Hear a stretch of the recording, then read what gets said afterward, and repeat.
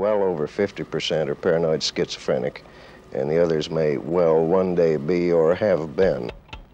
A large number of them are very acutely suicidal, so to threaten a skyjacker with the possibility of death is like telling a child, if you'll be bad, I'll give you candy. There are certain rather uniform characteristics about them, including a most unusual aspect of dream life in which they dream of being able to fly. It's rather startling to talk to a 50-year-old man and have him tell you a seven-year-old child's dream, and at the same moment know that this man has committed a crime on board an aircraft in which he's forced the pilot to make his dream come true.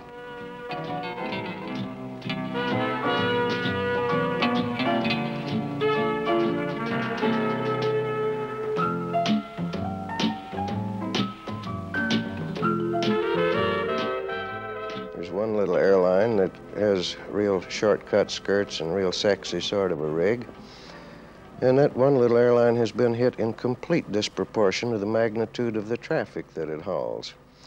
But here is a man who has really no sexual experience at all, and he looks at a hostess as a sexual symbol, and when he takes his gun and sticks it in this good-looking girl's belly and says, honey, we're going all the way to Cuba, he may very well be making the first sexual gesture in his life, and he often comments with pleasure how happy he was to see the fear in her eye. First time in his life he's ever scared a woman.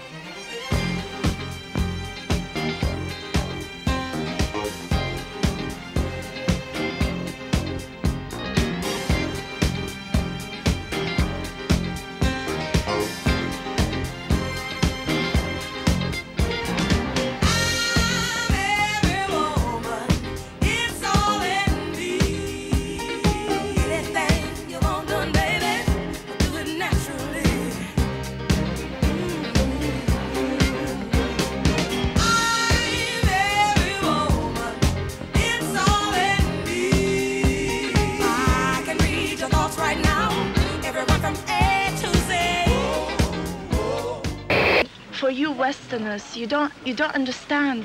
You have all the Israeli propaganda, and uh, you think the Arabs, you know, they're the dirty Arabs, and uh, for us we have to fight outside our territory, and uh, we have to bring the whole world to understand our case. The people that you helped to release were responsible for the death of a small child.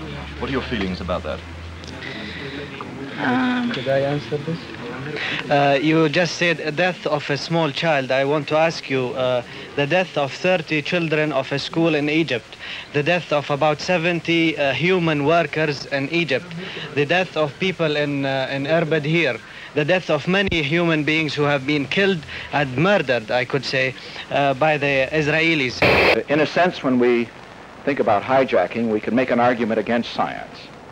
Because if it hadn't been for science, we wouldn't have had airplanes. Uh, if we didn't have airplanes, we wouldn't have had airplane hijacking. And so we could argue, therefore, it would have been better if we wouldn't have had science.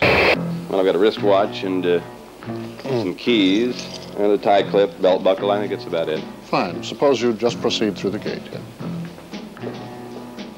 Now let's try it uh, with a weapon.